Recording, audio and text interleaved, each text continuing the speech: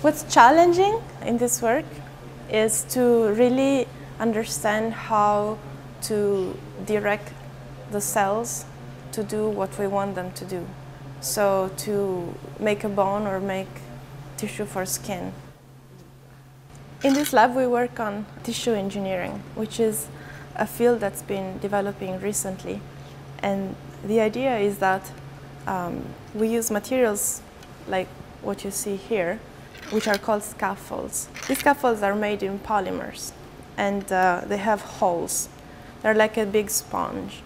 We can take these scaffolds and grow cells from patients on them in the lab. And then we can functionalize the surface of these scaffolds with some molecules that will tell the cells what to do.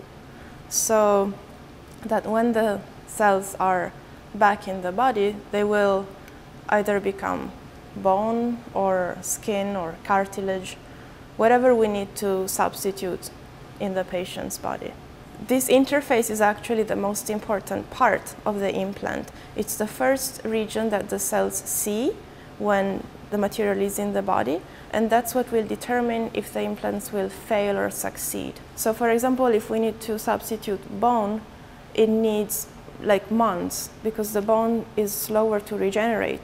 Uh, so it will degrade in months, and at the same time, the, bo the body will build new bone. If it needs to replace skin, it will uh, degrade in weeks because the skin cells regenerate much faster. And so the skin will regenerate while the polymer degrades. So at the end, months or, or weeks, this will be gone and what you will be left with is your new bone or your new skin. So now I'm going to put the scaffold in this machine. This is an infrared spectrometer. This machine allows us to characterize the chemical nature of the surface of the scaffolds.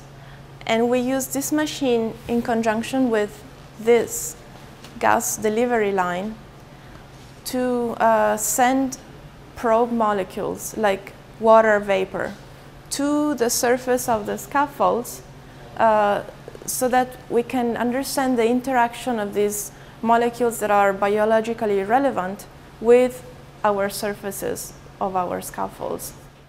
There has been a lot of advances in tissue engineering in a short time frame. What I think is the new frontier is this work at the surface that we're doing so that we not only have a scaffold, but we have a functional scaffold, a scaffold that would be able to really talk the same language of the body and tell the cells what to do.